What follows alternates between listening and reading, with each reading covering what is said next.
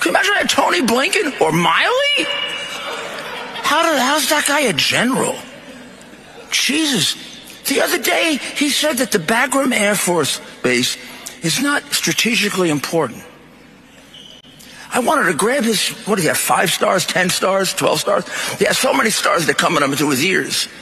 I wanted to grab his stars, shove it down his throat, and say, It's 400 miles from China, asshole! China is going to be our enemy for the next 40 years. You have an air base 400 miles from them and you're giving it up, idiot. What the hell is wrong with you? Who paid you? Christ. That is crazy.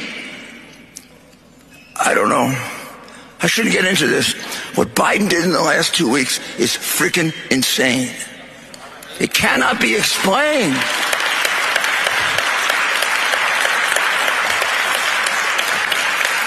Well, 20 years ago, I did my job for the country. I'm very proud of it. But I did it because of them. What Bernie demonstrated to you, I was so happy he did.